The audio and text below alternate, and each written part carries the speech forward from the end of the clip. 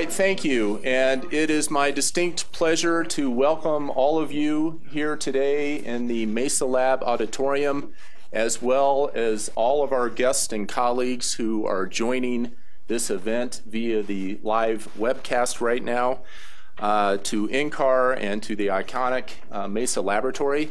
My name is Jim Hurrell, and I am director of the Earth System Laboratory here at NCAR where together with many of our colleagues in the Boulder vicinity, we do a lot of work on climate, climate variability, and climate change, and are also engaged in trying to effectively communicate those results to the general public. So many of us here are very honored and excited by this event today, discussing climate change in the American mind. Uh, we're, we're pleased to host this interactive event with Dr. Uh, Anthony Leiserowitz, who is a distinguished research scientist at Yale University and director of the Yale Project on Climate Change Communication. As you'll learn more about shortly when he is formally introduced, he has thought deeply for some time about the public's opinions on climate change. I want to thank the Tim Wirth Chair at the University of Colorado Denver for sponsoring this event. And in a moment, I have the pleasure and the honor of introducing you to Alice Madden, the current holder of that chair, who will introduce our guest speaker and moderate the question and answer session. In terms of a very brief overview of how this event is going to work today, I'd like to begin by first just pointing out, they will be formally introduced a bit later in the program, uh, three other key contributors uh, to today's events. They are scientist communicators who will first be responding to the presentation today. And they are my friends and colleagues Mark Serreze, Joni Kleypas, and Jerry Meehl. And as I said, I will formally introduce them uh, a bit later. Um, Dr. Leiserowitz will be speaking for about 20 or 25 minutes on this topic, after which we will hear the reflections and comments from the panelists on that presentation. Uh, during that part of this event, I would ask you to hold all questions that you might have for either the speaker or the panelist uh, until the panel finishes their comments uh, in about an hour or so from now. And then we'll open it up for a dialogue with all of you in a question and answer session. And after that concludes, we'll have about half an hour for open discussion we then welcome you uh, outside of these doors. You saw the tables being set up in the mezzanine uh, for lunch. As a reminder, this event is being uh, broadcast live uh, on the internet. It's webcast, and so when the question and answer session does begin, we will need you to speak into the microphone. So we will facilitate that and get a microphone to you. Now it's my pleasure to tell you a little bit about the Tim Wirth Chair and its current occupant, Alice Madden, who will be introducing our guest speaker today. The Timothy E. Wirth Chair in Sustainable Development was established at the University of Colorado, Denver in 1993. It honors the achievements of the former U.S. Senator from Colorado and current Vice Chair of the United Nations Foundation and the Better World Fund.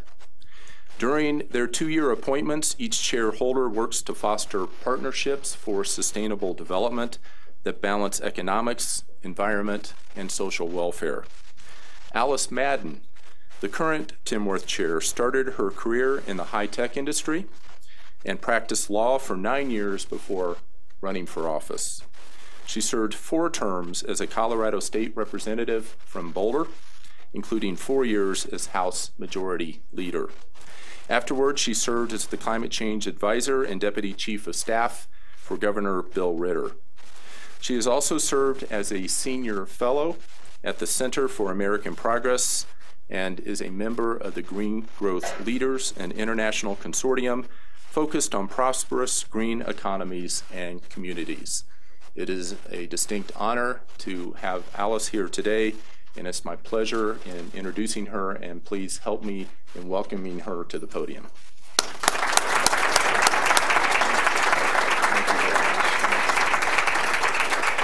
Good morning, everybody.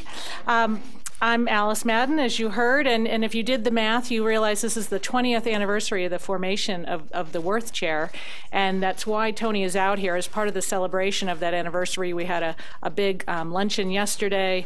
He spoke at um, Denver Law School last night, DU Law School last night, and then today the capstone um, presentation for him.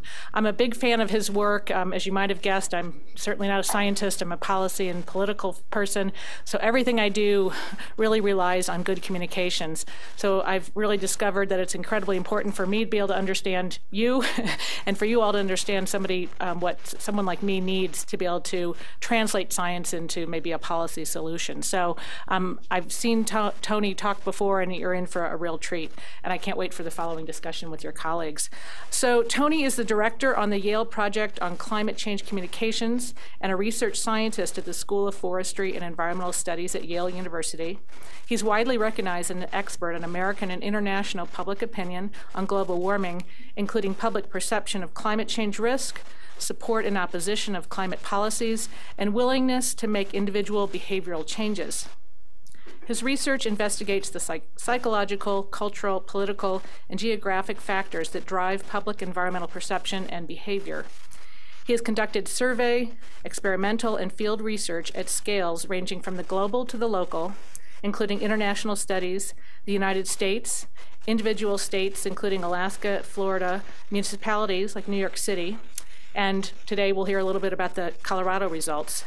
He's also conducted the first empirical assessment of worldwide public values, attitudes, and behaviors regarding global sustainability, including environmental protection, economic growth, and human development. He served as a consultant to the John F. Kennedy School of Government at Harvard, the United Nations Development Program, the Gallup World Poll, the Global Roundtable on Climate Change at the Earth Institute at Columbia University, and the World Economic Forum. Please help me welcome Tony to the stage.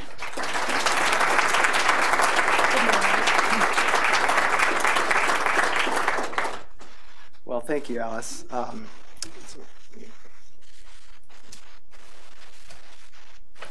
There, can you hear me? Great, super. Uh, thank you, Alice. Uh, uh, wonderful to be here. Thank you so much to NCAR for inviting me to come back to Colorado. Uh, I should just say on a personal note, um, this is the state that transformed my life. Um, to get to come back, I spent four years at the Aspen Global Change Institute uh, in Aspen, Colorado, uh, where actually I met and was inspired by some of the scientists that work here. So just the opportunity to come back uh, at this stage in my career is really a, a great honor and a pleasure. So thank you. Um, let's see. Um, so I'm going to talk about climate change in the American mind. Uh, to give you a little more background about uh, the Yale Project on Climate Change Communication, we're interested in understanding what do mass societies understand and misunderstand about the causes, the consequences, and the potential solutions to climate change. How do they perceive the risks, so the likelihood and severity of different kinds of impacts? What kinds of policies do they support or oppose?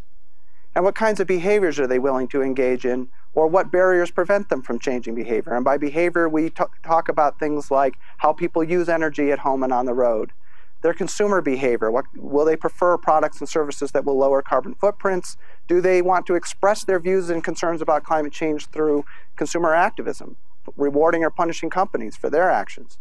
Um, we're very interested in communication and social norms. So how do we talk about this issue among our friends, our family members, our coworkers, our colleagues, uh, as well as these social norms, these unwritten social rules that guide so much of our daily lives. So just to give two quick examples, think about the wholesale shift in social norms we've seen in this country around cigarette smoking and littering.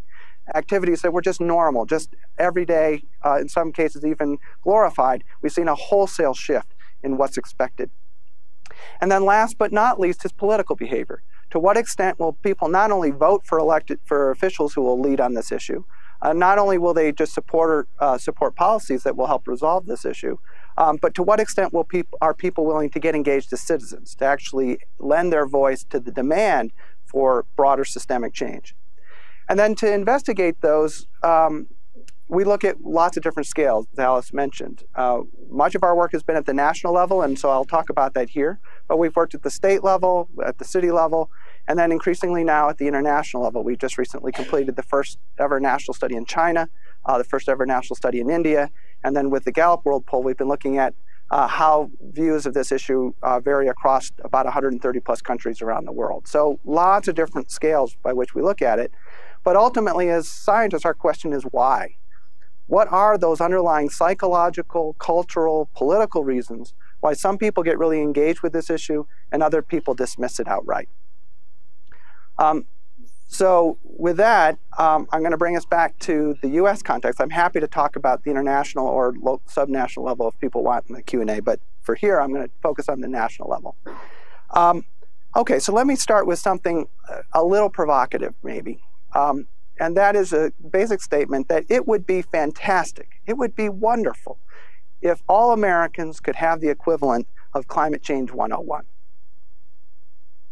A real introduction to how the climate system works, the causes, the consequences, the solutions to human caused global warming, uh, and so on.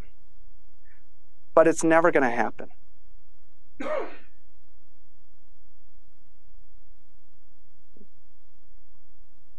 Never going to happen.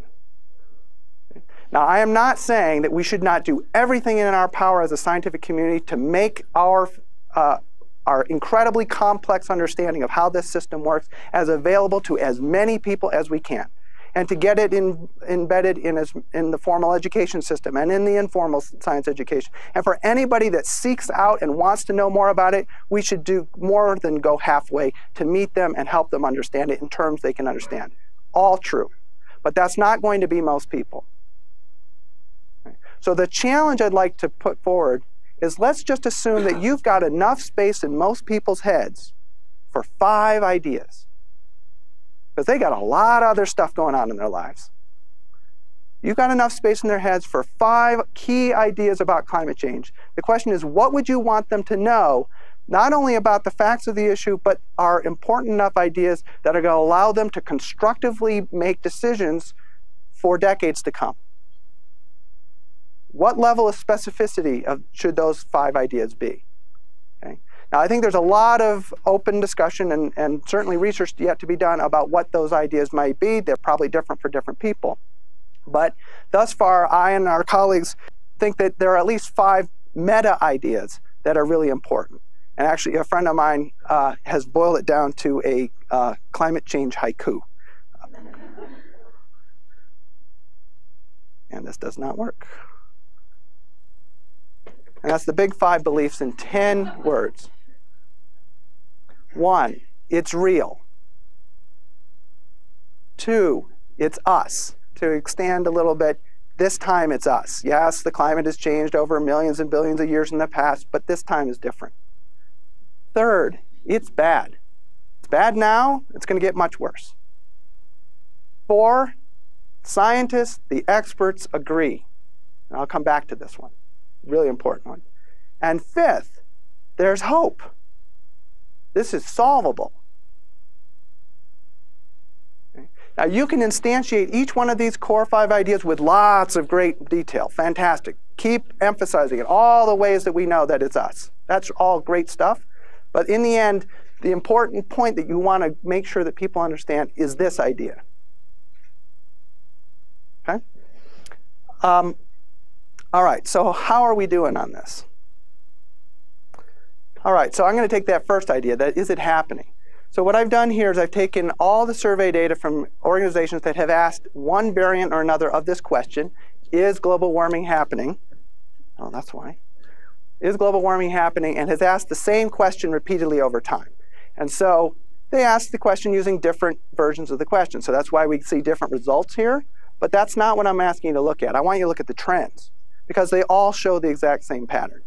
That basically we saw a run up in public engagement with this issue from 2005, uh, 4, 5, and 6, and 7, peaking out here, and then a wholesale drop on average about 14 percentage points, bottoming out in about 2010, 2011.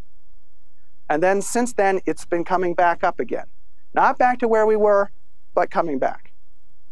This broad pattern of an up a steep decline and now starting to come back is what's been going on in public opinion over the past decade. Now, there are a lot of reasons for this, and I'll get into that uh, a little bit later. Okay, but more specifically, um, only half of Americans understand that global warming is mostly human caused. In our most recent survey, by the way, I'm not going to talk about methodology here. I'm more than happy to do that in Q&A if people want to. But uh, in our most recent survey of just a couple of weeks ago, uh, only less than half of the country understands that it's human caused.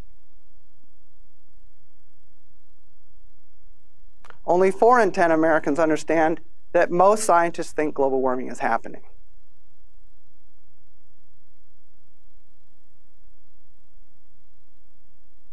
Now, this one's really important, so let me just take a little bit more time on it. Because in our work, we've identified this as what we call a gateway belief. Uh, and so what we found is that, again, only 42% of Americans understand that most scientists think global warming is happening. Further, this is a little bit old, but nonetheless, only 13% of Americans understand that this proportion, somewhere in there, of climate scientists think global warming is happening. Note, by the way, I'm not asking is, do they think it's human caused? I'm not asking do they think it's a serious problem. Just do they agree that the problem exists, about which there is no disagreement, even among many of the so-called skeptics. And yet, only 4 out of 10 Americans understand that. And what we have found is that people who understand this basic fact are more likely to then say, I believe that it's real, that it's human caused, that it's bad for people, that it's solvable. And in turn, they are more supportive of policy action. So, why is this? Well, it's not by accident. This has been the primary strategy of the disinformation campaign. This was taken directly out of the strategy documents for the tobacco wars including some of the exact same scientists who were involved in the tobacco wars, and said, and imported right into the climate change debate. If we can continue to make the public think that scientists are still arguing about the reality of the problem, people will say, you know what, it's not a problem. And it's perfectly rational for people to do this. I mean, as a layperson, if you don't, if your perception is that the scientists are still arguing amongst themselves about whether the problem even exists, why would you take this issue seriously? I've got a lot of other things pressing for my attention, a lot of other things that the media is telling me are important to worry about. Uh, I'm going to wait until you guys figure it out.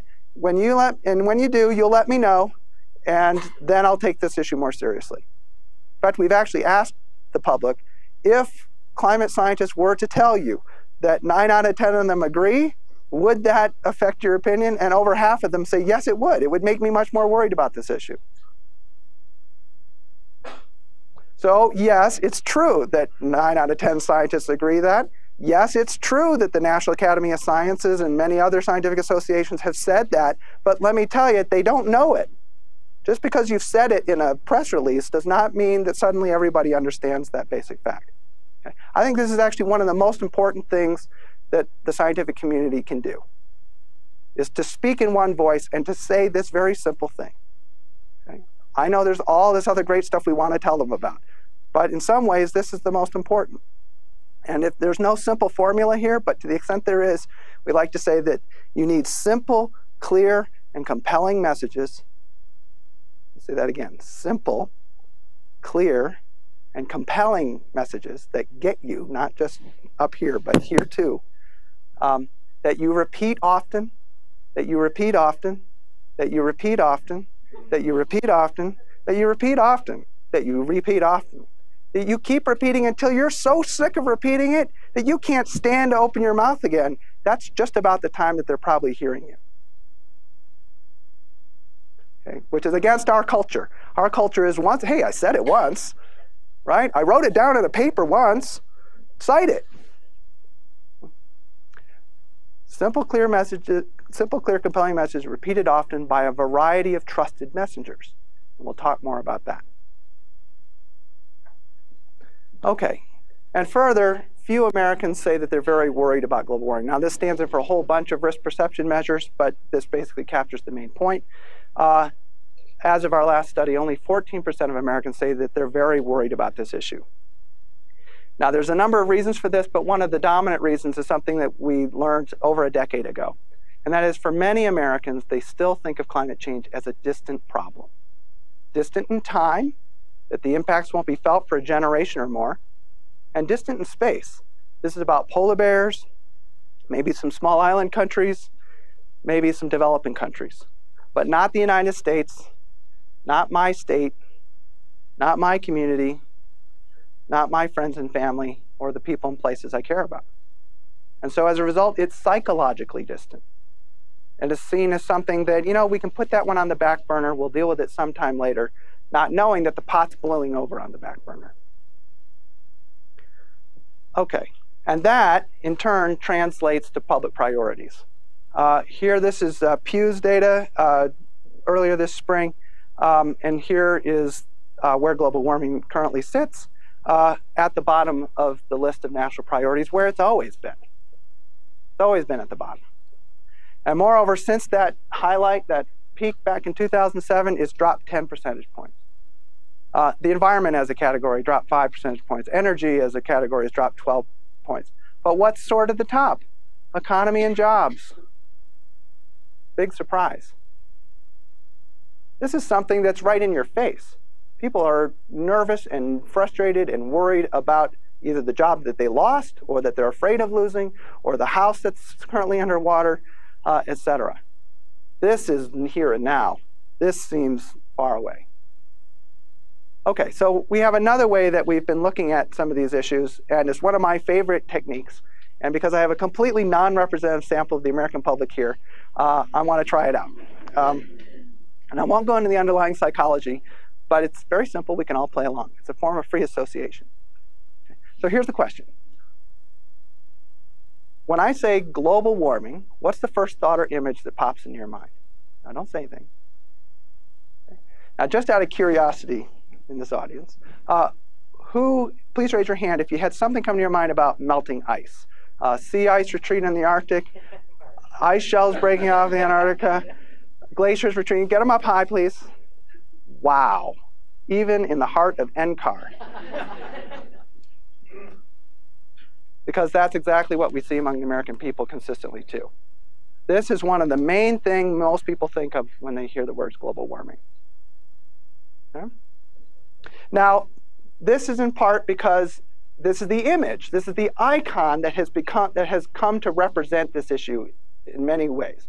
Uh, whenever there's a newspaper article or a news television news story, what do they always do? They put on uh, you know some melting glaciers, they glaciers calving because it's so hard to represent climate change in a visually compelling way. But you got you know ice shelves breaking off of a glacier and you know big splash and it's great television. Okay? Well, that has sunk home. It also carries an additional advantage because the mental model that it invokes has actually been really helpful in helping people understand that global warming is happening. Because it resonates with a mental model that we all have built up through experience in our bones. We all know that if you walk outside today, especially today, uh, with a glass of ice, what happens? It melts. And you show people pictures of melting ice all over the world, and they go, oh, I get it. The world is warming, the ice is melting. Because it already fits something they understand intuitively. Okay? But this also comes at a cost. Okay? Everybody was thinking of melting ice. Hands back up. Keep them up, please. Okay. Now keep your hand keep your hand up. Keep them up. Uh, keep it up if you live on the shores of the Arctic Ocean, in Antarctica, or next to a melting glacier. Really? Nobody? Okay, it reinforces the sense that this is distant, okay? that this is happening at the poles, this is happening at high elevations. More of us, there's no people in this picture. Okay? So people do get this A, B, A causes B type causality. Warming causes B melting.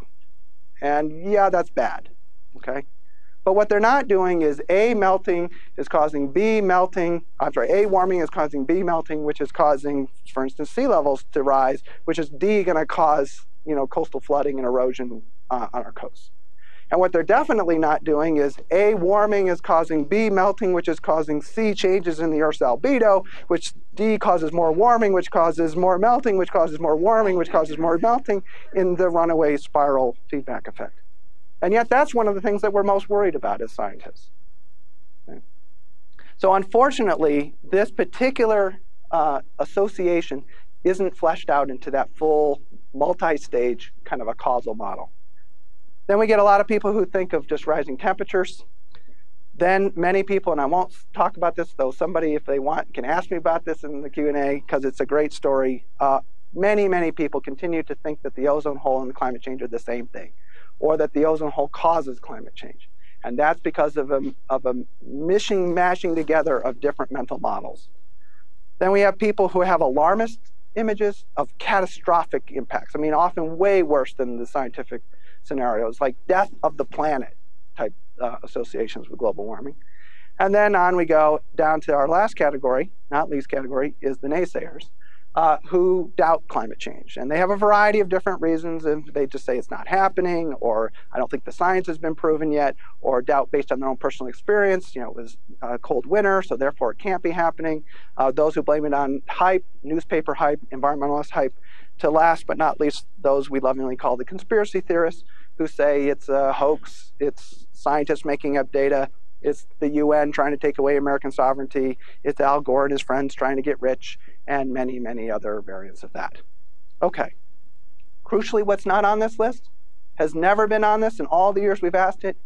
Nobody associates global warming with impacts on human health. At all. And that's actually, I think, one of the most important dimensions that in the end, as societies, that we actually care the most about. And yet people haven't connected that dot at all. So I think that's actually one of the other great opportunities we have to help people understand why this matters. Okay, so this is where we were, if you note, back in 2003. Here's where we were as of 2010.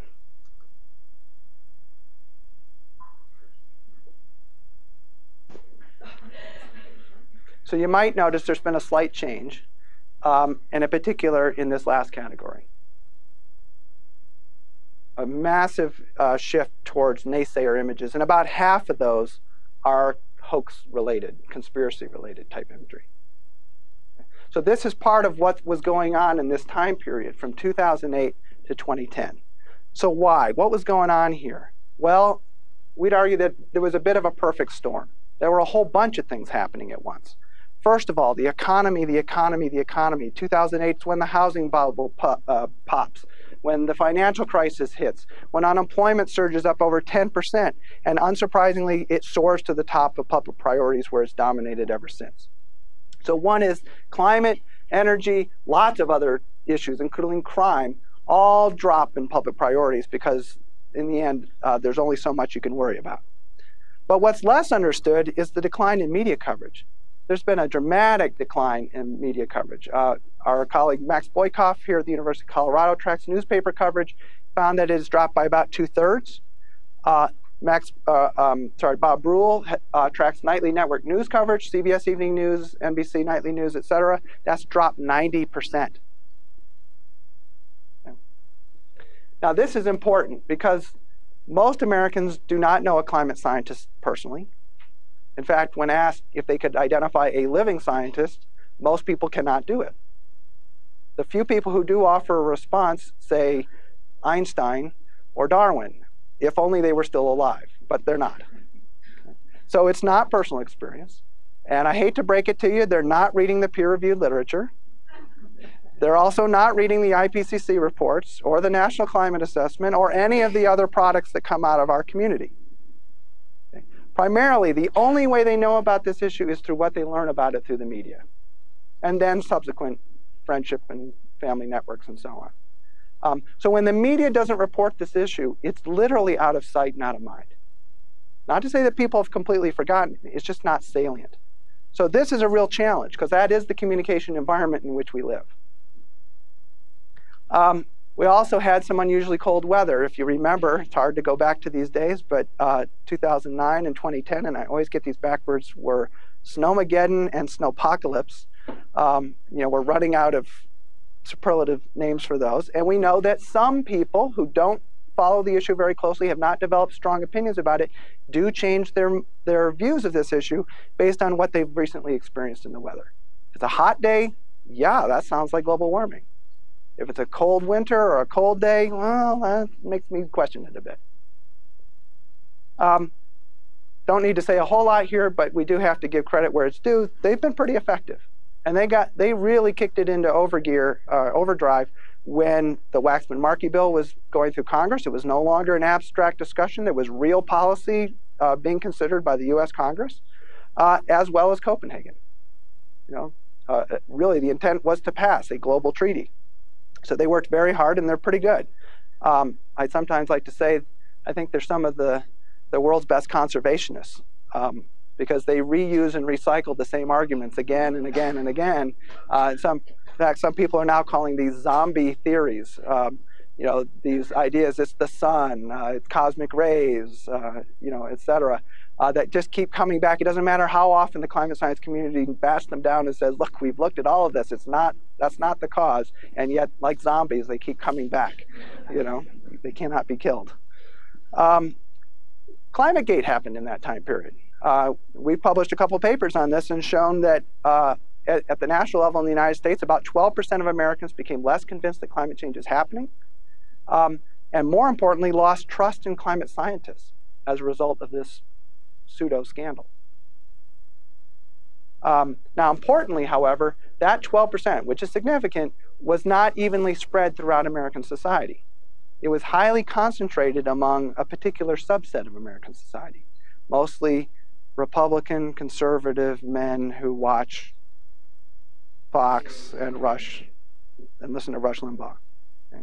And when our colleagues have gone and done media analysis, what do they see is that yes, the CBS Evening News and the New York Times reported this story once or twice, but really the bulk of coverage was in those kinds of uh, media outlets, which repeated it again and again, and always with a very sinister interpretation. So you're seeing here the increasing fragmentation of our media landscape. It's not the Walter Cronkite days where everybody gathers around the television and sees the same basic news.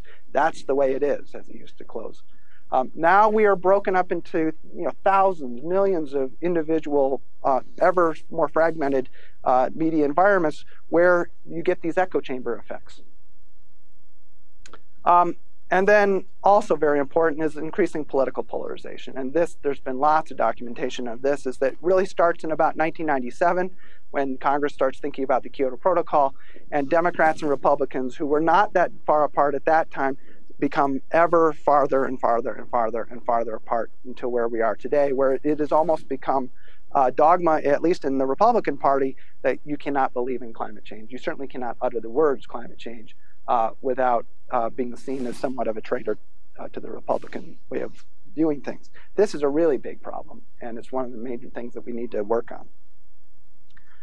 Okay, so why the rebound, though, since then?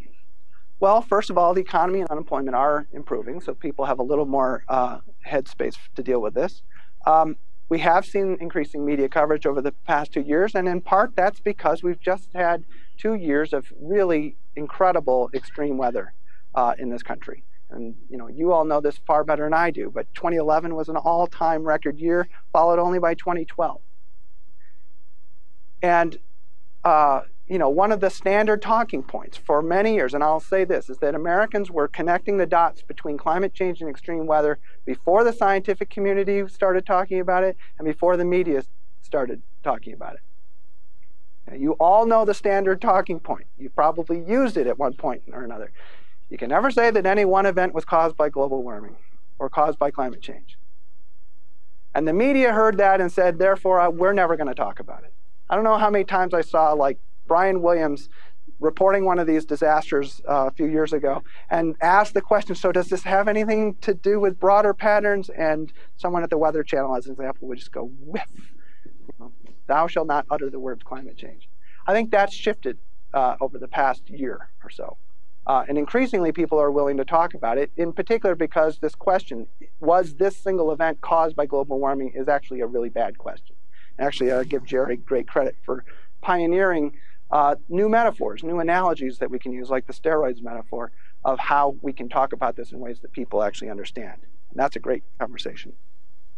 So, what we're finding is that just as of a, a couple weeks ago, uh, we have about 58% of Americans who think that global warming is affecting weather in the United States. People are beginning to connect the dots. Now, if something happens once, it's happenstance. If it happens twice, it's a coincidence. If it happens three times, you're beginning to see a pattern. and if it happens four, five, six, seven, eight, 22 times, people are themselves seeing this pattern and beginning to say, huh, something's really weird going on with extreme weather. I wonder if this has something to do with climate change. Now, that doesn't automatically translate into suddenly thinking climate change is a high priority issue. It doesn't automatically translate into changes in behavior. It doesn't automatically translate into sudden uh, demand that we pass comprehensive climate legislation. It's not that simple. But it at least has got people's attention, which is incredibly hard to do in today's media environment. And I think that these events are teachable moments. In fact, many of you already know this because when an event happens, people come to you and are asking you, so does this have something to do with climate change? You're an expert. Tell me. You don't usually get that question. But I guess you I would guess that you're probably getting a lot more because of extreme weather events. These are teachable moments. And many Americans, either rightly or wrongly, are making these connections with even specific events. That 2012 was the warmest year on record, the ongoing drought in the Midwest, uh, many say that it had something to do with making Sur- Superstorm Sandy more severe, as well as uh, the big snowstorm that hit us uh, in New England uh, just a few months ago. All right.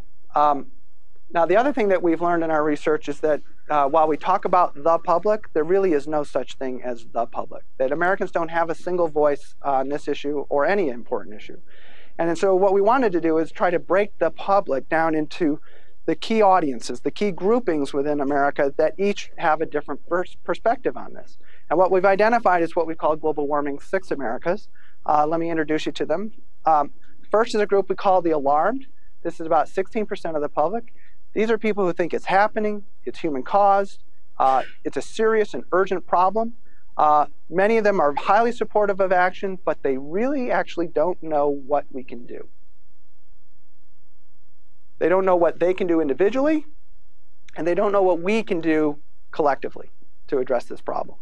And that's a real failure of the, of the climate community. We've done a far better job explaining what the problem is and what the impacts are than we have of what uh, the potential solutions are. Next is a group we call the concerned, about 26%. These are people who think it's happening, human cause, serious, but again, they tend to think it's distant, distant in time, distant in space. So again, a lower priority, stuck on the back burner. Then a group we call the cautious, about a quarter of the public. Uh, these are fence sitters, uh, not really sure. Is it happening? Is it not? Is it human? Is it natural? Is it serious or is it kind of overblown? Uh, paying attention, but haven't really made up their mind. Then a very interesting group we call the disengaged have heard of global warming but know nothing about it. I don't know what the causes are. I don't know what the impacts are going to be. I don't know anything about the solutions. For them, basic awareness is the primary barrier. Then a group we call the doubtful, and these are people who say, you know, I don't really pay much attention to it, but I don't think it's happening. And if it is, it's natural. It's nothing we had anything to do with, nothing we can do anything about. Uh, I think it's all kind of you know, but a little bit liberal uh, discussion. So they don't pay much attention to it, but their predisposition is to say it's not a serious risk. And then last but not least are the group we call the dismissive. Uh, and these are the people who are firmly convinced it's not happening, not human cause, not a serious problem. And again, uh, many of them are conspiracy theorists. Now note, they're only 13%. Let me say that again. They're only 13% but they're a really loud 13%. They're a really vocal 13%. They're a relatively organized 13%. There are 13% that's particularly well uh, represented in the halls of Congress. They've had an outsized influence on public discourse and debate.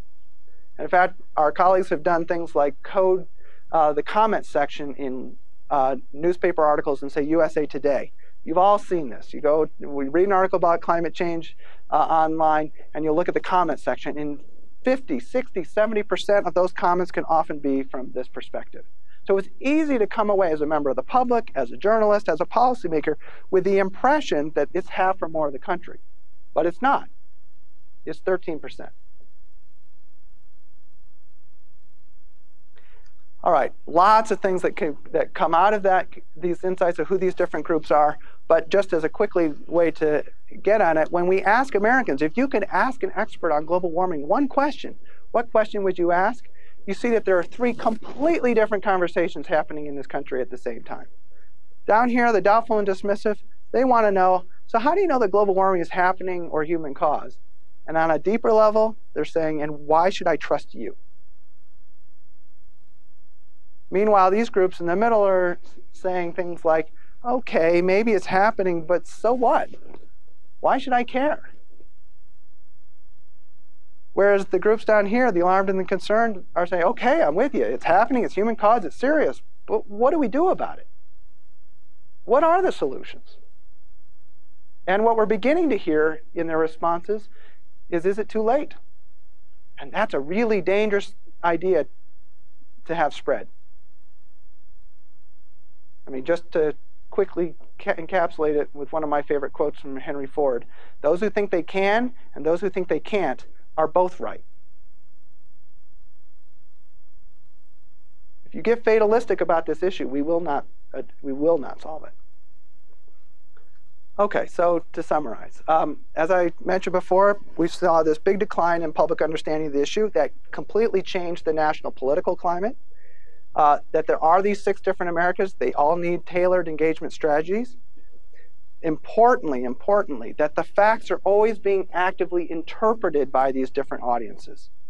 They are not empty vessels just waiting to be told what to believe by journalists or the climate scientists or whomever. They come preloaded with, if you want to use the metaphor, software and, and you know, an operating system that already predisposes them to interpret new information in particular ways. You need to know what, that, what operating system they're running as well as what software they're using. Okay? Terrible metaphor, but I used it anyway. Um, knowledge is necessary. It is necessary. I'm, I want to push back against those who have been flogging this horse about the information deficit model for years, and I've contributed to that. It is not just simply about providing more and more information. That's true. But let's not take that pendulum too far in the opposite direction and say that therefore information doesn't matter and that knowledge doesn't matter. That's not true either. It's necessary, but it's insufficient. There's always also in that decision making, judgment decision of all of us, because we're human beings, emotions, values, ideology, and all these broader social, political, and economic forces all coming together to help us shape our interpretations of these issues. Um, and then in terms of forward strategies, of course, it obviously depends a lot on which audience you're talking about. But I think overall, it's really important that we do continue to convey this basic idea that many people still don't understand, that the experts agree.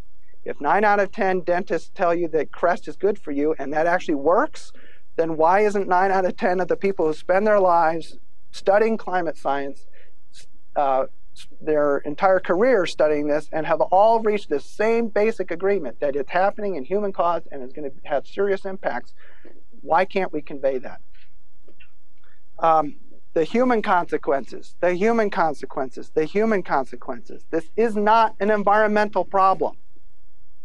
People have this compartment in their heads in which they file environmental problems, represented by things like glaciers and polar bears.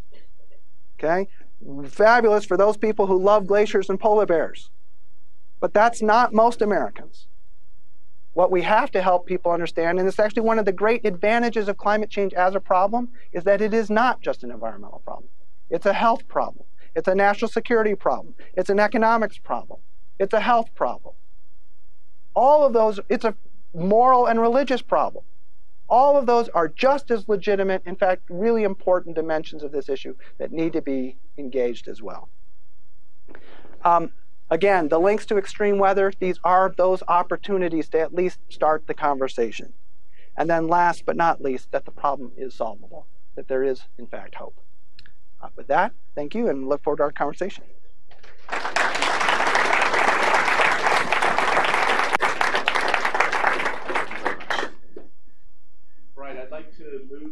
Next part of the agenda, and we're just a little bit behind. Um, and I certainly want to save time for the panelists to make their comments and to have some very active question and answer. So I'm actually going to skip kind of the formal introductions that I made for the three panelists and go ahead and invite them up. Um, I will just very briefly say that all three, in their own right, Jerry, Mark, Joni, come on up, are experts in the field of climate science, but not only experts, they're very passionate and experienced communicators. And so they're coming up on stage to share their reflections on uh, Tony's presentation, as well as perhaps some of their own insights from their own experiences. Just trying to have a little bit of fun. I will only introduce Mark as someone who does care deeply about glaciers and polar bears. Joni is someone who cares deeply about coral reefs and marine ecosystems. And as you've already heard, Jerry cares deeply about baseball and steroids. so, uh, with that, uh, I would like to. Uh, in oh yes, can we? Yeah, when we do, we'll we'll turn off the projector. Uh, with that, uh, I'd like to uh, again remind each one of the panelists. We'll we'll take oh, let's say four or five minutes uh, for you to uh, present your thoughts on the presentation, or perhaps share some of your own perspectives related to today's topic from your own experiences in trying to communicate climate science. Since Jerry has the microphone, I, I will go ahead and, and start with you, Jerry.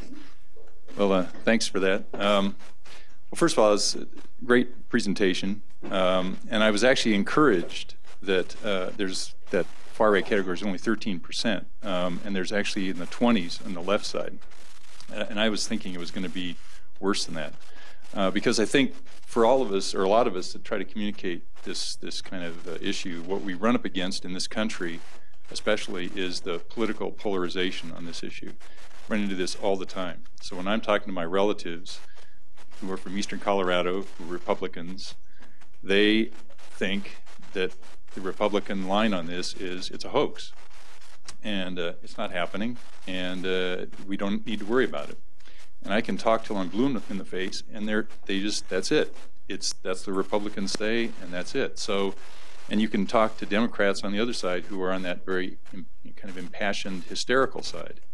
So it's like this issue, just since the time that probably all of us have been working on this, it's gotten, and you noted this too, it's gotten worse and worse.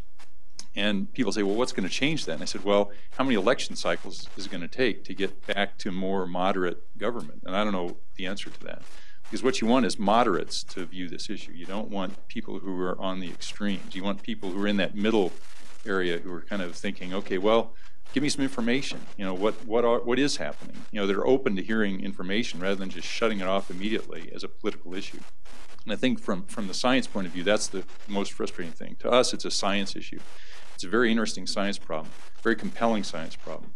Uh, and uh, it, when you start hitting people who treated as a political problem, that's really frustrating. The other thing I wanted to say was um, just coincidentally, just minutes before I came down here, I was on the phone with a reporter from USA Today. She's doing a, a she's involved with a, a, series of articles that they've been doing on various aspects of climate variability and climate change. She wrote the piece that maybe some of you heard reported on on the um, uh, increasing allergy season and uh, I said, well, how, how is this being received? How is this series being received? And she said, well, the environmentalists love it. And she goes, of course, then we get the usual pushback from the, uh, you know, the political right. But her approach, and I think this is a valid approach, and you mentioned this, is uh, to communicate this in terms of uh, how it impacts people. Okay, the hay fever season. A lot of people have hay fever. Longer hay fever season because it's warmer. It's connected to climate change. People get that. Uh, extremes is another common one, even though, you know, with all the issues of trying to say, well, we can't attribute an individual event, but extremes affect people. They know people are affected, they see it. It's a very visual, dramatic kind of a thing. Uh, and the, I think the challenge for those of us who try to communicate this, and what I was, I was violating all your rules in talking to this reporter, because what I was, she wanted to know about the Texas drought. She's going to Texas later this week, and she wants to, she wants to talk to rice farmers, other farmers, water managers, uh, and get their how the drought has affected them and what they think about it.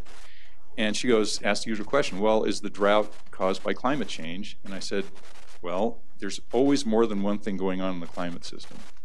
And then tried to explain things like the effects of the La Nina event that we know produces dry conditions in southwest U.S. Tried to ex explain this kind of more obscure thing, which I kind of uh, with some trepidation kind of went into this, tried to explain these kind of lower, uh, longer time scale fluctuations, what we call decadal climate variability, internally generated, natural fluctuations of the system that happen over periods of tens of years that we know affect climate in the southwest U.S., and of course then long-term climate change that we know will dry out the southwest U.S. And try, and so she actually came up with the word, and she goes, "Oh, so we're looking at this through three different lenses." I said, "Great analogy." So that's a really good way to put that. So when you when you deal with a reporter who's receptive and interested and and really is trying to do a good job, I think it's really encouraging. But it's still for her, I think. And she said her editor, they got a new editor, and it was his idea to do this series. And he thought it was it was a time to do this because of all the extreme weather in the last two years have been uh, you know really interesting for people. But I think you know that that's that's encouraging. So I think there is hope in terms of communication, but I think the barrier we still face is this real political polarization, at least in this country. Those are all good comments, and I, I have to say it was a great presentation. It it covered, you know, I I'm coming at this as a person that's learned by trial and error, more error than anything, but uh, but it really does echo my experience with trying to communicate with the public, and I agree a lot with what you're talking about with reporters. Some of the do's and don'ts are are very uh, important to know. I think one of the things, though, it sort of echoed with me in your presentation is everybody thinks differently. And one of the first things to do, I mean, this is, goes against us as scientists, and it, it actually does hurt our reputation, is to is to listen before you speak. So, I mean, I use this practice on um, planes a lot. You're sitting there with your new neck, your, your new best friend right there, and you want to, you know, invariably you're going to be working on some PowerPoint presentation that you've got to give within a few hours. And so they always say, What do you work on? Of course, I'm working on reefs, so I got pretty things up there. So they usually ask me that. And so I'll give them just just tell them what I'm working on and they you know you want to get them to the point where they're asking you questions. So the way to do that is you ask them questions. What do you know? Right? So we're getting to the point well, where do you put them? Are they on one end of the extreme or the other? And through experience and through some of the things that you've said, you can you can identify who they are and you can speak to them accordingly and ask them the right questions. That so I'm speaking to you as individuals giving a message, not as a person standing up in front of Congress, whatever. Although it works in front of Congress as well. So you know, uh, I can remember once giving testimony to Congress and I'm talking about the issue of ocean acidification in coral reefs and you know also climate change in coral reefs. And you can just see the one side of the you know the committee is Republican, the other side is Democrat. The one side of Republicans just sort of sitting there as you're talking about these things. And then when you look at, you know, I remember just coming into my mind, I'm not getting to these guys. That's one thing. You just got to keep observing. And I'm like, so what I'm saying is, you know, and I look straight at them, is that we're messing around with God's masterpiece. and I, I knew at the moment that little scientist on my shoulder was saying, You can't say that. right? But I said it, and I can tell you, a couple of those guys just sat up in their seats like this. It's really hit what was important to them. So we have to be willing to talk on their terms, think about what they do, and, in what's important to them. I also think something that we scientists do is we, we do need to establish our credibility. That's the second point of, of being good spokespersons, but you need to tone that down. You do just enough to establish your credibility, but don't be ivory tower. Again, be a human. Be a human, be passionate, show your passion, it's okay. And that was a hard lesson for me to learn, but I can tell you it's one of the most effective ways of communicating. If I were a really sexy person, I would use that because apparently that's the best way to get to people. but you have to you have to go here, and then um, I think the other thing is is don't blame people. So I can remember another one. I'll just give you another uh, example. I was at a coral reef conference, and I walked into the hotel. I was putting together a video for the conference, and the concierge comes up to me and he says, I, I can't believe all you people talking about climate change. I don't believe it. So I just started asking him questions. Well, I said, thank you for even asking the question. Thank you for being engaged, you know, and, and I, I continued to compliment him for being engaged, ask him what his sources of information were. then I apologized. I said, well, we scientists are failing you because we're not very good communicators. We're not, com- com- you know, competing with some of the other people out there. And I, you know, the more questions I asked him, the more he asked me. And by the end, he was helping us with our video, and he was in the video. So there are ways to get to people individually, and they're going to go back and talk to other people, and that's what we forget. So I'll shut up there. But that's my experience. Uh, well, thank you. I, I think a, a, lot of you know what I heard in the talk was, was, was spot on. Was spot on from our experiences. Uh, so I'm uh, Mark Serreze. I'm the director of the National Snow and Ice Data Center, which is just down the hill here. We're part of the University of Colorado, and we're the deal. We're the people who deal with the data on snow and ice, melting glaciers, melting sea ice. That's us. Okay, a lot of that information comes from us. So. I think in many ways, in issues of science communication, we are very much on the front lines of this. Uh, so we experience this almost on a daily basis. So I think what I'd like to relate is just a few of the lessons that we've learned uh, as we've, we've, we've tried to be better communicators of science. And the first lesson that we've learned is that you can make the information both scientifically accurate and accessible. That's hard to do. But it can be done and it must be done. Um, we have various venues of getting information out. One of them is called our Arctic Sea Ice News and Analysis, where it's a day by day account of what's happening to the sea ice, periodic discussion pieces. We've learned how to do it, how to avoid, you avoid, for example, silly words that don't work, like temperature anomalies. An anomaly, oh, that doesn't work. We can't talk about temperature advection or something like that, statistical significant. These things don't work, okay? Uh, you end up sounding like you're in your ivory tower, okay, on the one hand. They don't get through, okay? You can do it if you try. And, and when we try to write our pieces, for example, on our sea ice news, we've got several scientists vetting that with our communications people, okay, to make sure that it's finding that right balance, okay? So I think that's one of the most important lessons we've learned is that you know accuracy versus accessibility. Second, always be aware of this broad gray line between information and advocacy. We pride ourselves on trying to be honest brokers of data and information. Okay, here's the data, here's our interpretation of what we're seeing. As unbiased as we can. Right? Why do we think this is happening? How does this compare with other years? Those sorts of things. We, we really try to be those honest purveyors of that information. But very often we are approached by groups like Greenpeace, okay, or Sierra Club, okay, wanting us to become part of them, so that they can uh, cite us as, you know, supporting their cause and things like that. We have learned to be very careful of how we approach these things because they can easily backfire. Right? When we look at the climate change debate on what's happening, we see that the shrill arguments on the left, the sky is falling, it's all gloom and doom, are as unhelpful as the shrill arguments on the right. They're equally unhelpful. Okay? So, you know, we've got to be careful in how we approach this. Okay, sure, we're going to get that information out, but you know, if we find ourselves being affiliated in some way with, say, an extreme on either side, okay, we lose our credibility. We see our credibility as being those on, that honest brokers of data information. So you have to be careful. Okay? Third one, pick your battles. You've always got to be able to pick your battles. Now, uh, we actually have someone who periodically trolls the blogosphere to see how our name is being used in the debate. And, uh, you know, there's a lot of things that come up where people are just talking about us, and that's fine. We let it go. But sometimes we will find that our name is being dragged through the mud for some reason or another, either deliberately or through mistake or through uh, miscommunication.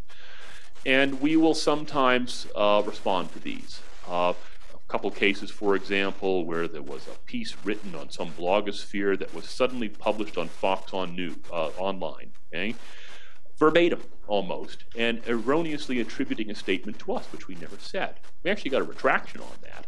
Been a several occasions where we've done this. We fight our battles. On the one hand, if you're dealing with the blogosphere, of course, having a retraction almost doesn't matter. You know, the damage is done. Okay, you know, everyone sees that first post; they don't see the retraction. But you know, we, we do learn we have to fight our battles. We've only got limited resources to do this. Fourth, learn from your mistakes. We all make mistakes. And sometimes we do things in trying to be good communicators of science, trying to get that information out that backfire. Okay? You have to simply learn from them. Case in point. A few years ago, we were approached by the History Channel, and they wanted to do some, we thought, right, uh, some kind of show on global warming and things like that. And so I, one of my colleagues, agreed uh, to be interviewed as part of this. And we thought the interview was going a little bit weird, okay, but we weren't quite sure what was happening. We're saying, okay, they've got uh, our best interest in mind. Uh, no, no. We find out the show is produced and uh, it's part of Armageddon Week on the History Channel, right? So we see this show. There I am as a talking head. Nostradamus makes his appearance, right? and so you can see, you know, their agenda was not our agenda. You have to be careful with dealing with the media often, okay? Because they may not be interested in your story. They are often only interested in their story. That's not to say that there's not a lot of good journalists out there. There are, okay? But you have to learn from your mistakes and you have to go into these things eyes wide open. Thank you.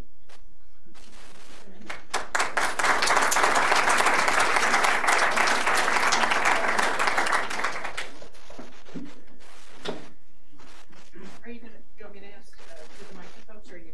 I'm the audience. walking around the Okay. room, and if you want to just sort of help these. Okay.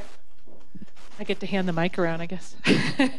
so, um, while we while you guys think of a question, I'm going to take a prerogative to ask a quick one. So, on that, the six Americas, and remember the three questions: the the people who really care about it, they want to know what they can do.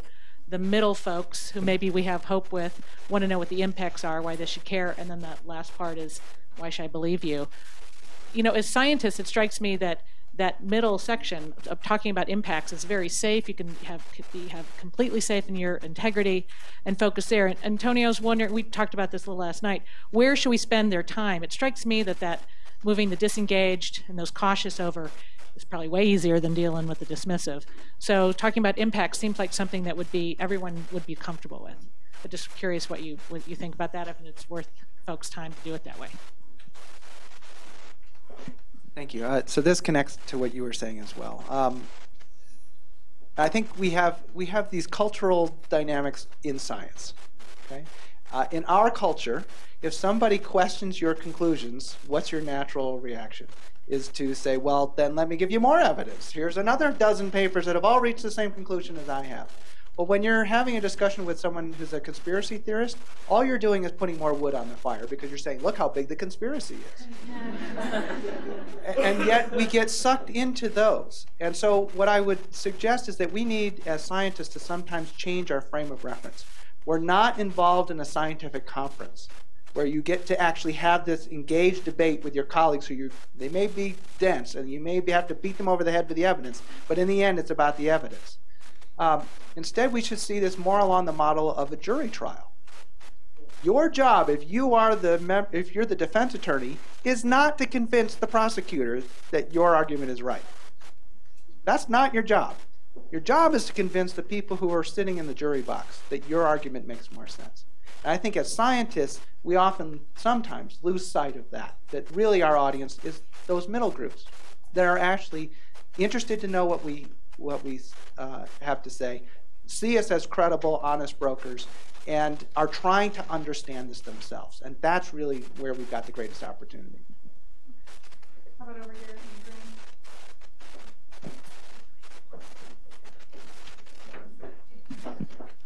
Thanks.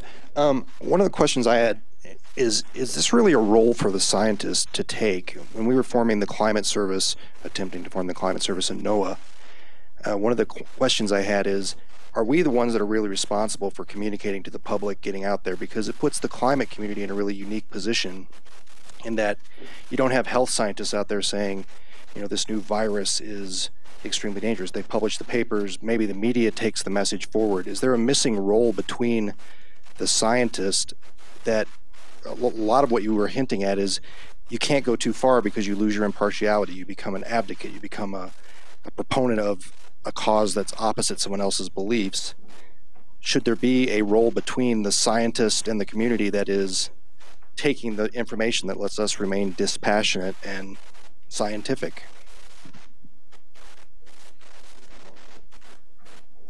Well, yeah, there's maybe two aspects to that question. One is science communication, the other is providing climate information. So the climate service, um, I think one of the ideas that other countries have had for climate services, uh, where they don't have the political issues we have, uh, is you have kind of an interface group who are, who have uh, who are knowledgeable from the science, but that are good at understanding what the users need in terms of information. So in a climate service context, that's one really key kind of group of people who are kind of interface people between the scientists and the uh, and the stakeholders. In terms of communication, that's that's also a helpful group, but a little bit more difficult to identify, I think, because um, you know those of us who end up doing you know media kind of things, you know, we, we have real jobs and we you know get paid to write papers and do science. We don't really get paid to do communication. So what we do uh, in this regard is we're doing because we like to do it or we think it's important.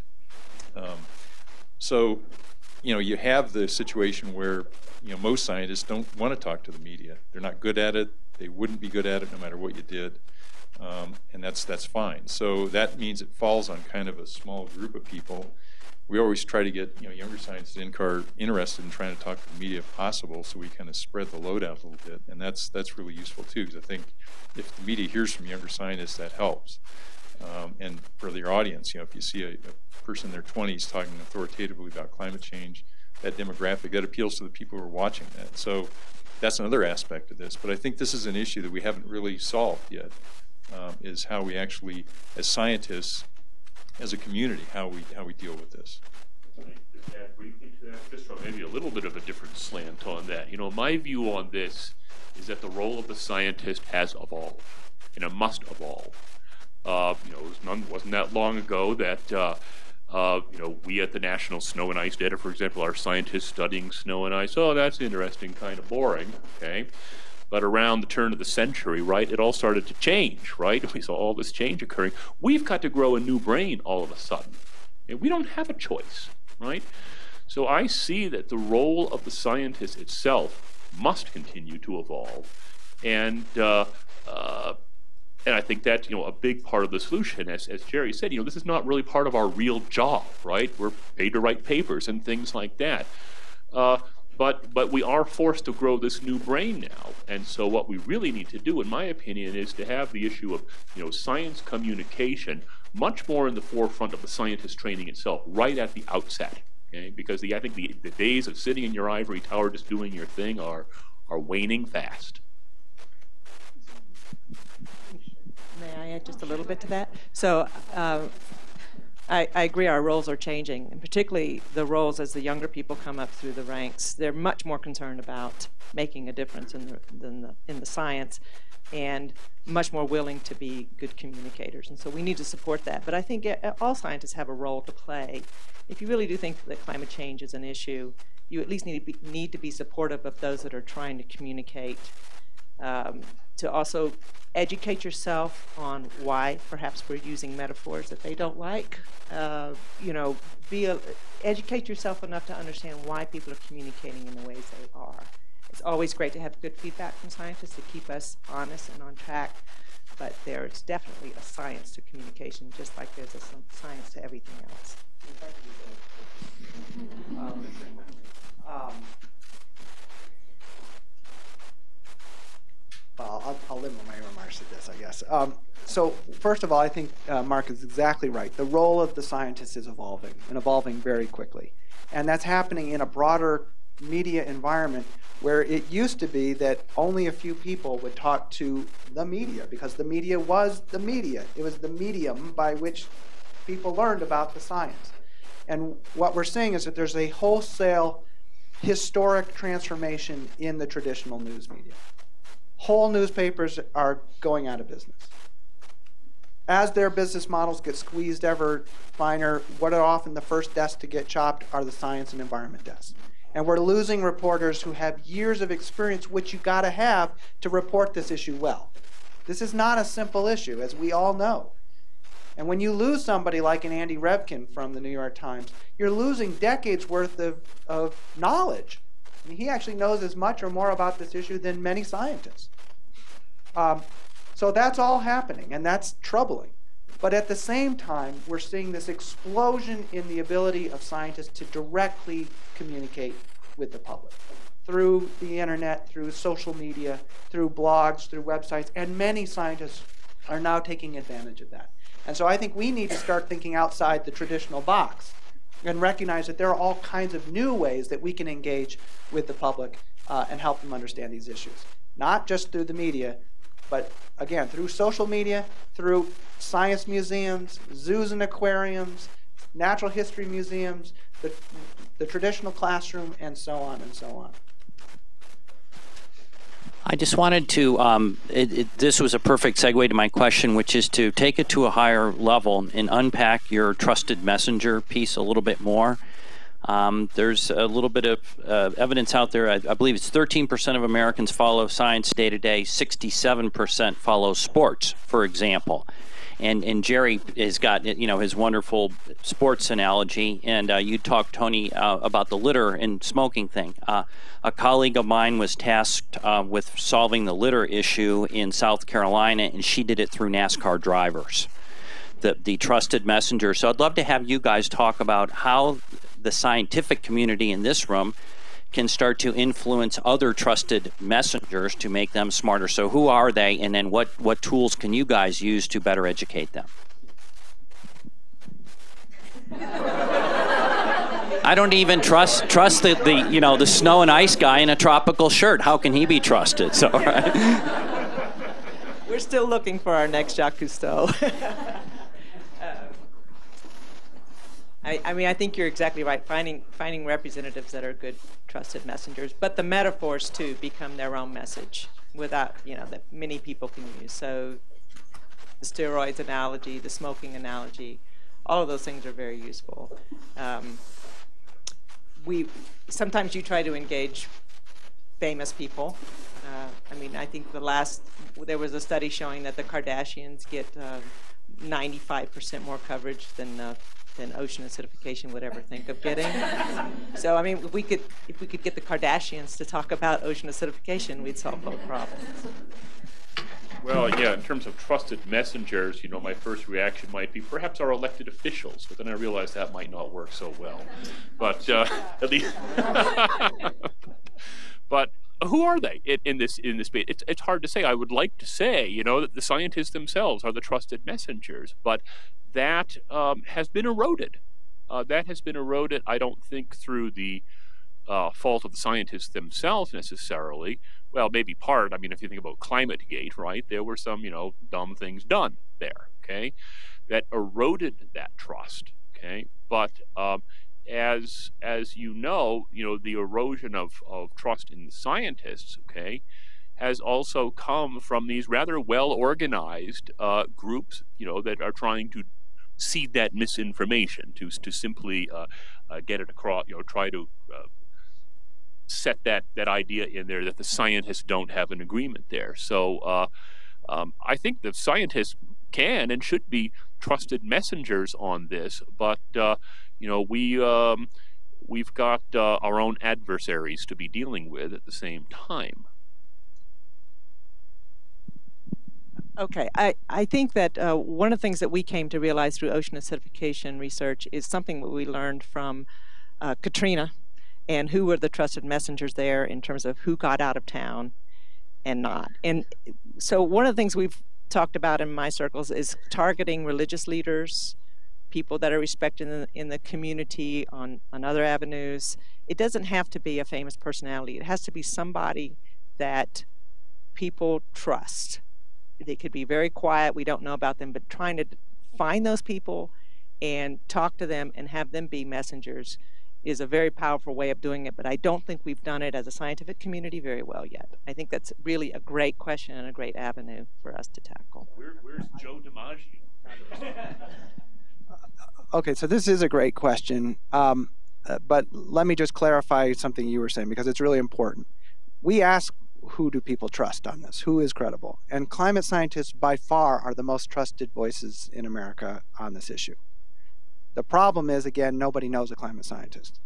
And climate scientists have day jobs. And as you said, most of them aren't trained in this. They aren't very good at it. I sometimes joke that 75% of them ought to have a restraining order keeping them away from microphones or uh, video cameras. And some of my friends in the community say actually it's more like 90%, um, which is fine. That's not why you went into this job, right?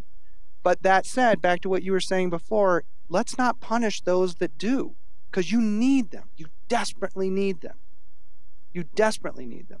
And for those that are willing to actually communicate this issue, they need to be the ambassadors of this entire field. Um, but beyond that, to underscore your point, it's about empowering other opinion leaders. There's a long literature here about how to effect, for instance, uh, change in terms of public health. You don't do it through advertisements. You don't do it through doctors sitting there giving you a long lecture and so on. You find opinion leaders, those people embedded in communities that have long term relationships of trust who can carry that message for you. So, just as one example, engaging the public health community, engaging the agricultural extension service, these are people who are embedded in farming communities all across America. They've been there for decades. They have the trusted relationships. How can climate scientists work with those guys and women to actually empower them to carry this message and help their constituents understand this issue better? That's the challenge, I think, is much more than us directly communicating, is helping those other opinion leaders.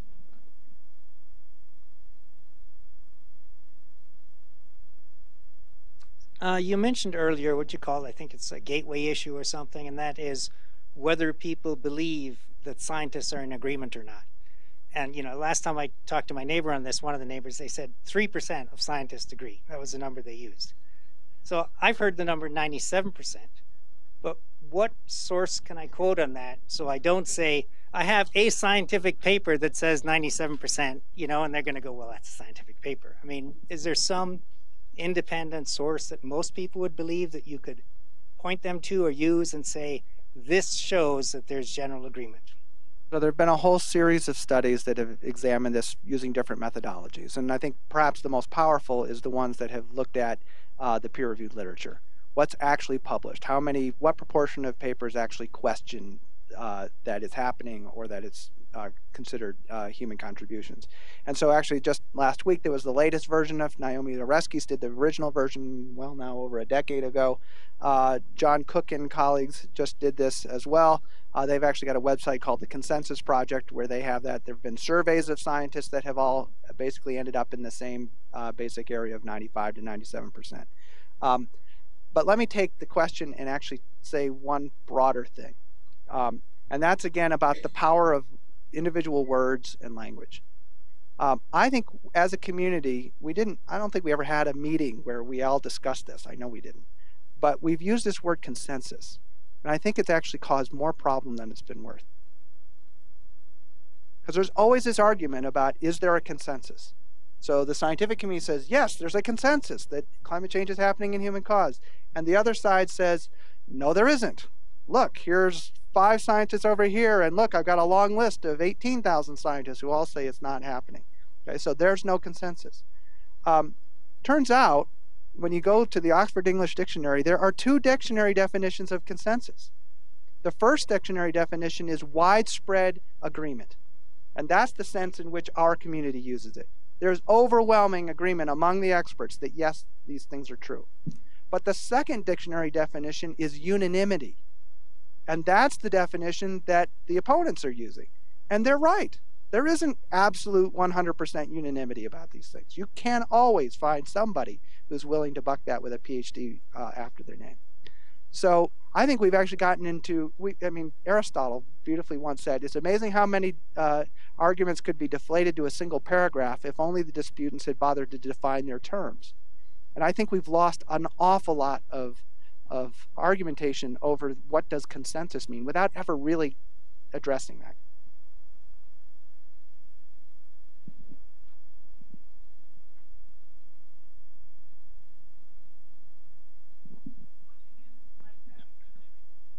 Thank you. Um, on the trusted messenger question, so no one's mentioned Jim Hansen yet, so I would just want to throw it out there has he been a good ambassador, or do you think he went too far out on a limb and actually was a disservice to conveying the message?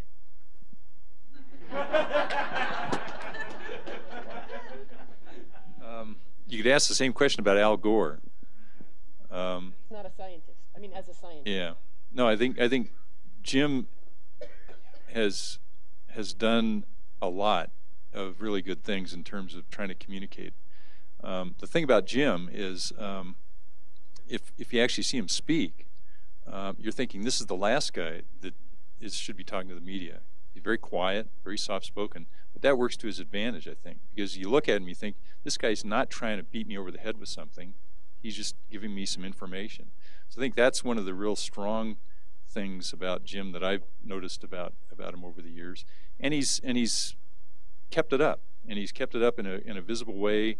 Um, you know, in the late '80s, is the dice analogy and, and all these things. You know, that I think that that's that's been really good. Of course, he's just now retired about two months ago to go full time into advocacy because he realized that um, as scientists we're always on this teetering on the brink of you know we're trying to give information and we're not trying to look at like we're advocates in terms of some political action and he said okay well that's it i'm i'm now to the point where i'm going to try to advocate political action so he retired from nasa to do that so i think that was a decision he made to to go over to the other side but i think this is something we have problems with all the time because people want to say well what what do i do about this and you know politically i always say pay attention to who you vote for not telling them who to vote for. I said, pay attention to who you vote for. Listen to what your candidates are saying about this issue. That's important. Your vote is important. That's something you, everybody can do. But beyond that, then we have to kind of always keep falling back on the science. On that trusted messenger piece, just to add to that, you know, I, stress from my own perspective that um, alarmism doesn't help. Uh, it's not helpful. Uh, you know, the, the real shrill we're all going to die, the sky is going to fall, okay, doesn't help us. And the problem you find, I find often, is those that have, say, movie stars or whatnot who have taken up the cause, okay, in an effort to help, often end up hurting more than they help because they don't have that training in the science, okay? And so they pick up maybe these snippets. Uh, and and they, they often have this tendency to be a little overboard, okay? and that is not always helpful.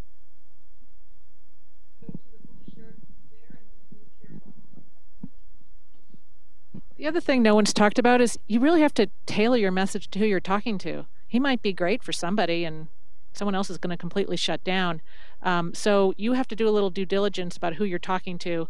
Certainly with reporters, you ask them what your story is about because they have a goal, and you need to figure out how you can work your way into their goal. But and no one's mentioned the United States military. For those folks on that right end of the scale, really great, strong messenger, and they are totally with you. So that's just another one. So go ahead, gentlemen, and then if you could just pass the mic to the woman in the blue in front of you when you're done, and then we'll go over to the other side. Yes, I have a question and then um, a brief comment of my own experience of dealing with it. So um, I have a, a multi multiplicity of backgrounds. One of which is I used to be an economist and I've taught environmental economics and um, also environmental ethics in university settings. And in that context, if you think about uh, what they call discounting and how we view the value of the future in relation to the present, and with a very little bit of simple math, which I actually in public talks take people through because of where you get to at the end, you can show them very quickly that we don't really think the a century from now is worth very much, and a thousand years from now is worth essentially nothing, thinking from an ice kind of standpoint. But one of the things that, that you can do with that, and I've been able to do with this in some of my graduate classes and actually in public speaking at churches and other places where I've spe- spoken, say, okay, a century from now, if we say the reality of, of our grandchildren and great grandchildren is worth less than 1% to us of what our reality is worth now, do you really want to say that to your grandchildren? That gets them. And all of a sudden, they're able to think long term in a way that maybe they haven't been before. And that connects up with what you were saying, Tony, about connecting with values, with church groups in particular. I found that the openness to values language is very strong and uh, so I was wondering if, if, if you've thought about this in the sense of one of the components of the problem is how do you bring the future into the present? How do you make them sit at the table, like um, uh, Robert Solow, the economist, said in his famous 1974 piece? So I'd like to hear what the panel has to say about that. Thanks.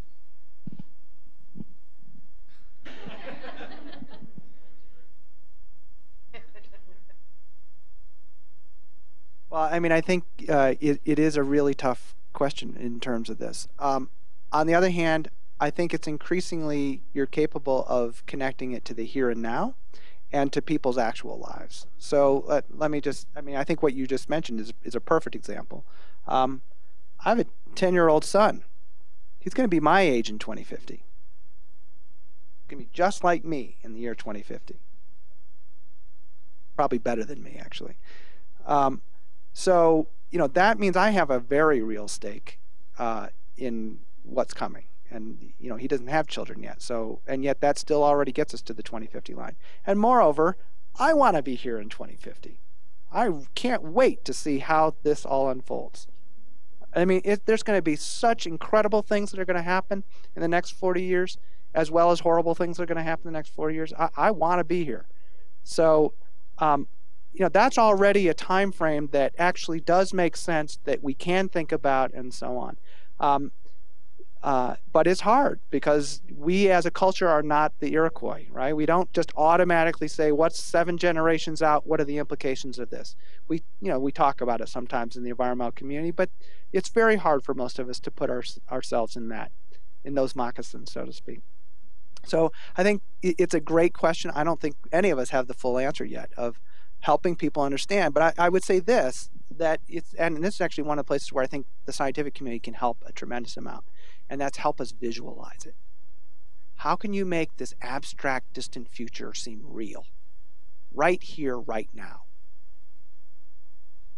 Through your visualization lab, as an example. Through those abilities. I mean, not just to be able, and let me just say this on, uh, from a perceptual standpoint. When we show people maps of how uh, sea levels are going to increase in the future, what is the position that you're always in when you see that? It's always God's eye view looking down, right?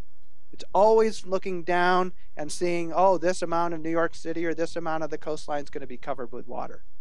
Okay, not fine, but I'm not God. I don't live up there. I live here.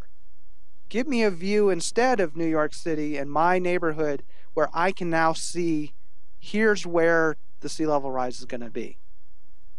I think we have tools now coming into our hands things like Google Glass, that are going to revolutionize our ability to imagine what the future is going to hold. And I would just throw that out there as a challenge to those of you who think in these terms.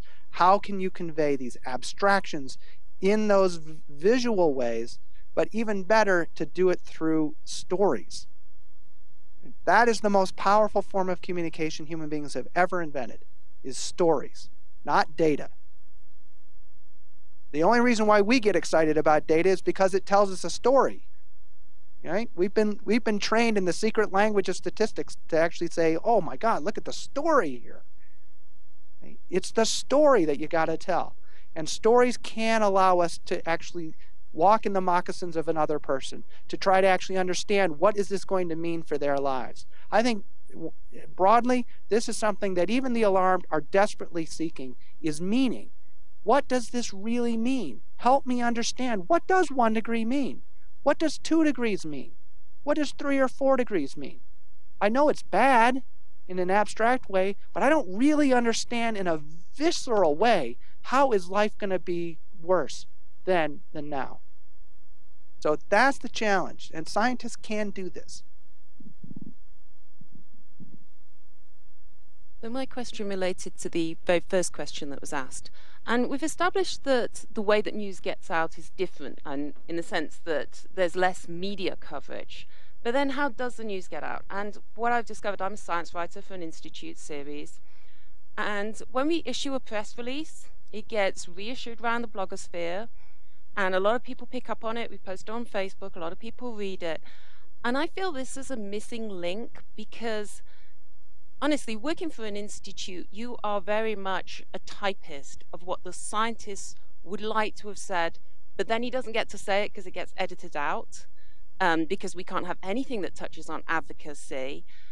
And I feel that here's this huge amount of information going out that then really doesn't contain some of your suggestions of how does this relate to health, national security, moral and religious economics, links to severe weather. It is soluble. This is a place where we could get the message out.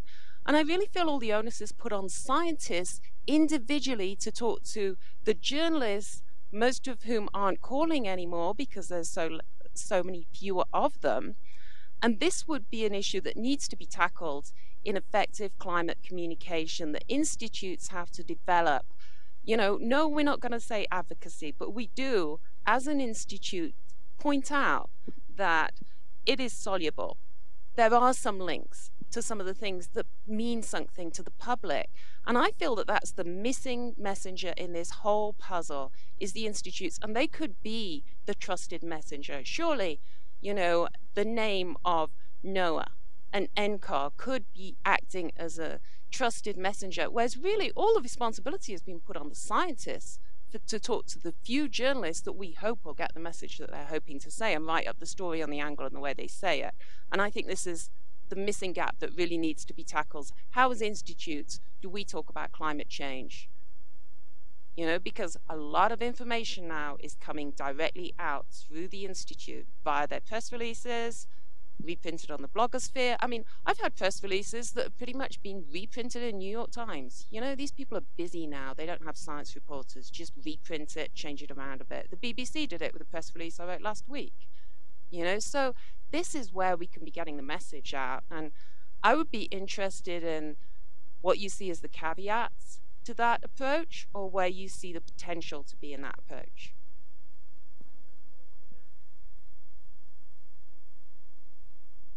So, can I respond quickly to that?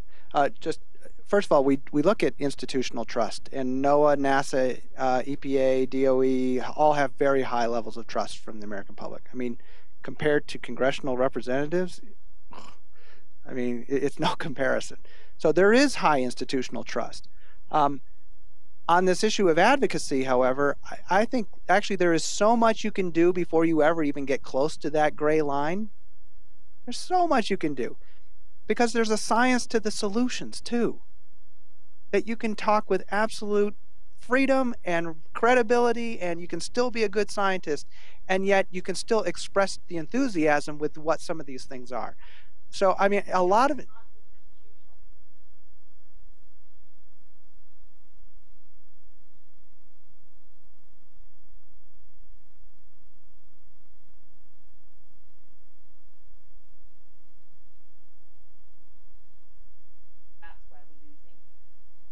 Yeah, I think there are actually different forms of communication, and if you look at the websites of some of these institutions, actually they are doing that. So.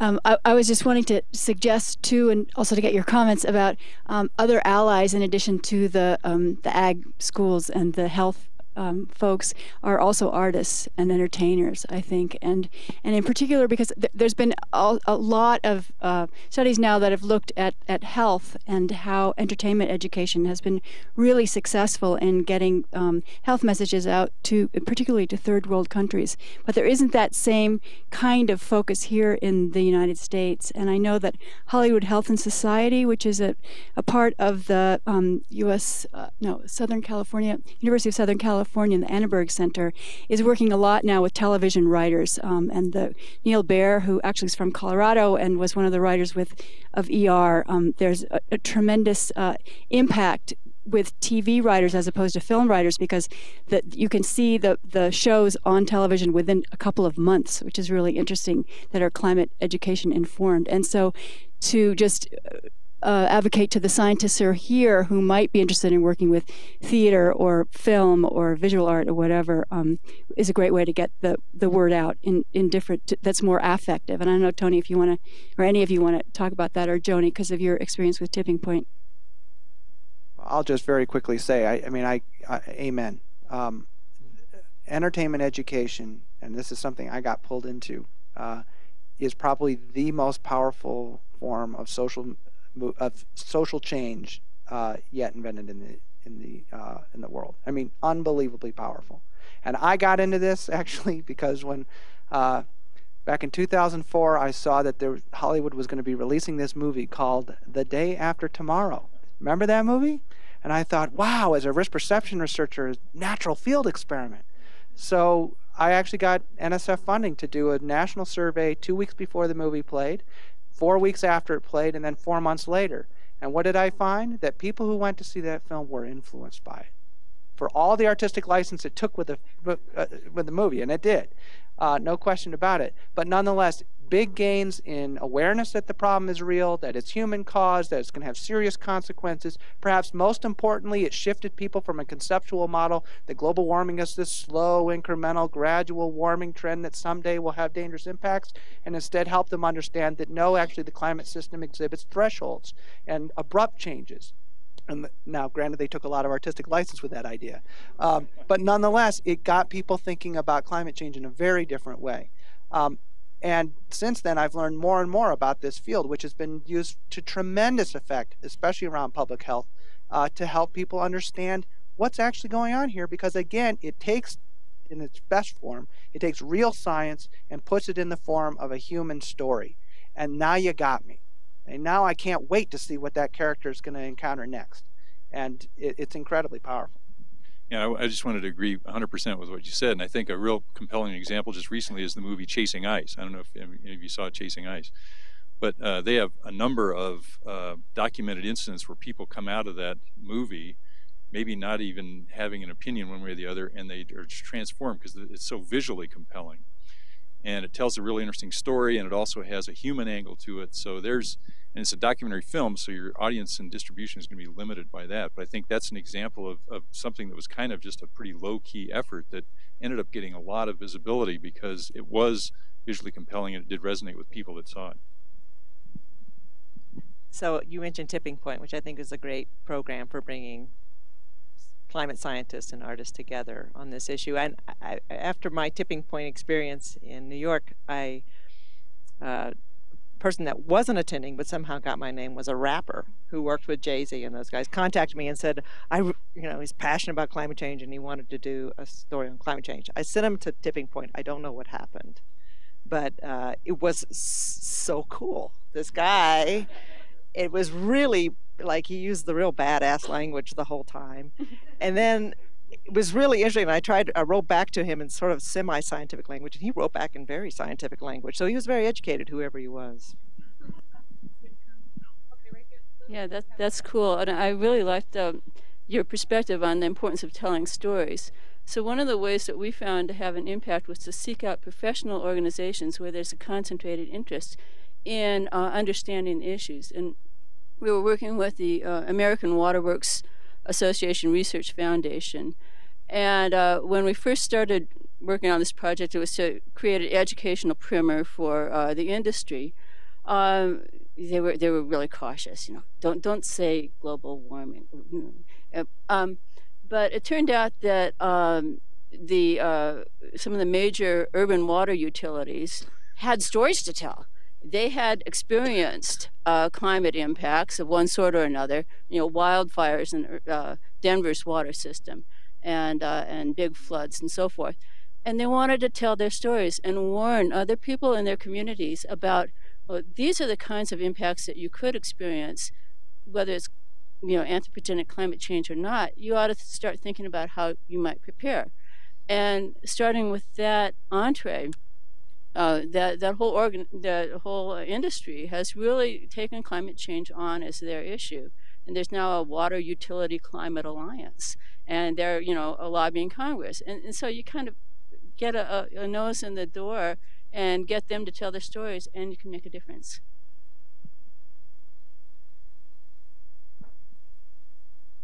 I've been the um, cooperative climate observer in Boulder for 23 years, so I frequently get questions after significant events about how it's related to global warming.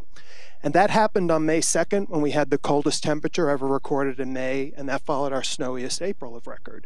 So naturally, I explain global warming exists, but there's still all the natural variability on top of it when I'm asked how do we know the background has changed, global warming, I have to admit the example I tend to go to for a global indicator is Arctic sea ice. and yet you seem to frown upon that particular example. I just wondered is there a better example to use when you're explaining to local media how the background global indicators have shown warming? I, I, think it's one of the best ones out there because it is it, well somewhat but because it is so visible. Okay we can think about global temperature changes but it's just an abstract thing that you put on a graph right? It's hard to get a handle on it. Something like the arctic sea ice change is visible. It's visceral uh, you know, okay, polar bears and seals and giant Arctic eels, you know, all suffering, but uh, it, it, it is that is that is that visible, visceral thing that people can relate to. So, in the one hand, the Arctic is our friend in this regard because you know, it, the Arctic is telling us the change is here now. It's not in the future. It's not out there 50 years. It's here and now, and people seem to get that.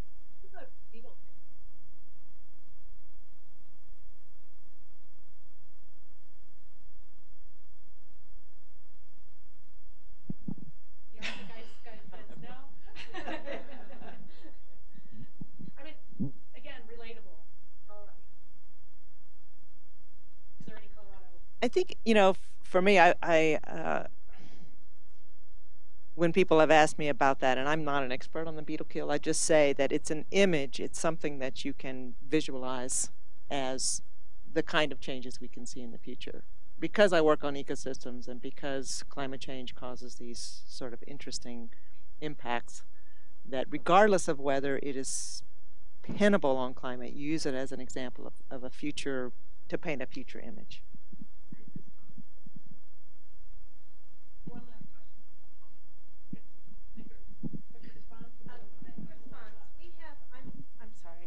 We, I'm with um, James Balog. We have time lapse video of beetle kill, and it's shocking to watch. It's like what two and a half, three month periods. Some one, some are four or five month periods, and whenever we show them to people, it they're stopped dead in their tracks. They may cry. Um, it's it's almost more powerful, at least in Colorado, more powerful than the ice.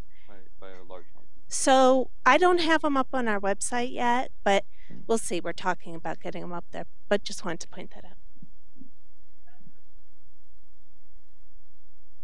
Well, maybe it's a good question to end on. I wonder if you could say more about what you think the relative importance of your fifth idea, that there's hope, um, is in our communication strategy. It can be a scary message and it, it can stop people. They don't want to deal with it. Um, so can you say more about that and maybe, you know, how do how do we incorporate more of that? Um, so, I mean, I'll, I'll, try to be brief about it actually, because there's a very large literature, especially rooted in the broad field of communication, but in particular health communication, that you need to have hope. Um, that as much as people want to focus on the problem and the impacts and the causes of the problem and so on, that, and let me reframe this as fear appeals. Okay? This is ultimately about the emotion that is being carried by the message as much as it is by the facts that you're trying to convey. But facts often have a big emotional impact. I'm sorry, ma'am, but you have cancer. Okay? That's a fact, but it's a fact with a really, really deep punch. Okay? Transforms people's lives to hear that. And so how you tell those facts, what emotions are being engaged by those facts, and how you help people process those in a constructive way is really at the heart of so much of this communication because this problem does that. I mean, we all know this. I mean, when you sit next to that person on the airplane and they say, So, what do you do? Oh, I work on climate change. Oh, that's nice. I mean, it's actually very hard to have the conversation because people don't want to go in there because all they know is doom and gloom and scary images and I don't know what's going to happen and I don't want to go back in there. Okay? So it's, I mean, and so what we find when you look at fear appeals, fear appeals are really useful and effective at getting people's attention. We as a species evolved and only survived because we have fear built into our most basic uh, structure, right? I mean, when you're walking through the woods in Colorado and you hear a crack of a stick behind you, your body immediately is ready to take action, right? That's a potential visceral immediate threat. Saber-toothed tiger about to jump on you. Um, And so you're ready, prime for action.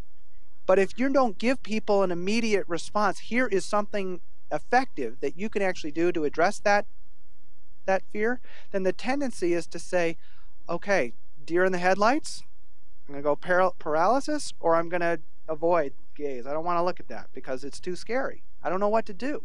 But if you can twin it with something that here is something that you can do, here is something that we collectively can do, here's a reason for how we're going to actually solve this problem, um, then you begin to actually engage people in a much more constructive way. So I think that's really our challenge is how to not only deliver the bad news of what's happening, but to do so with a really positive message of not only that we can solve this problem, but I would actually ask us to start reframing it more broadly and saying, we're actually trying to build a better future. Not a better future than the hell that we're saying we're heading to in 50 years, but a better future than the one we have right now, because it ain't so great for most people right now. People feel that the that our control of our lives and our ability to live the lives that we want and to hand on to our children the kind of life that we had is falling away from us. So this is actually, I think, part of a much broader narrative. We've been talking about climate change, and I've worked on climate change for 25 years. These all have been working on even longer. It's a crucial issue. We got to get it right. But in the end, it's only one component of the real challenge of this century, which is the sustainability challenge. How do we live with probably 9 billion people on a single planet without destroying the life support systems that we all depend on, and yet providing everybody with dignity and a basic, substantial uh, quality of life and the ability to actually try to achieve their own dreams. That is our challenge. That is it. And climate is only one piece of that story. Just to add to that from my perspective, what I also find useful is a bit of pragmatism. Okay? That we are where we are, and we're going to have to deal with it. That uh, we built this great society, maybe not all of it's great, on fossil fuels, cheap energy. All of the infrastructure we have, all of the comforts we have were built on that.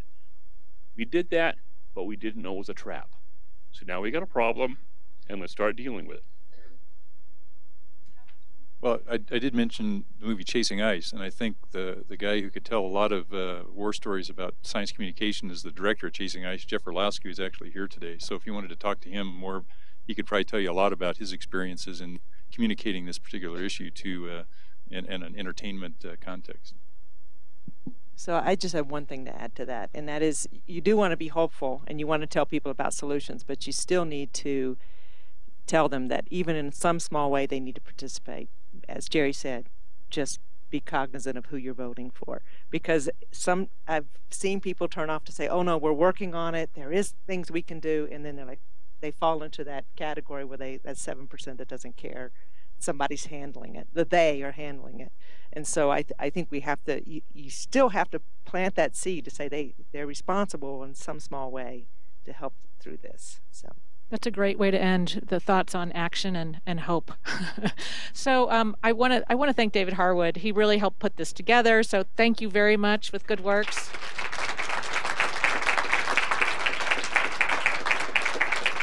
And thanks to the folks at NCAR for pulling this together. I, I think it's been terrific. What a, and what a great audience. And I know we're having lunch right outside of here, right? So we can keep this conversation going. And thanks to you. That was really fantastic. Thanks.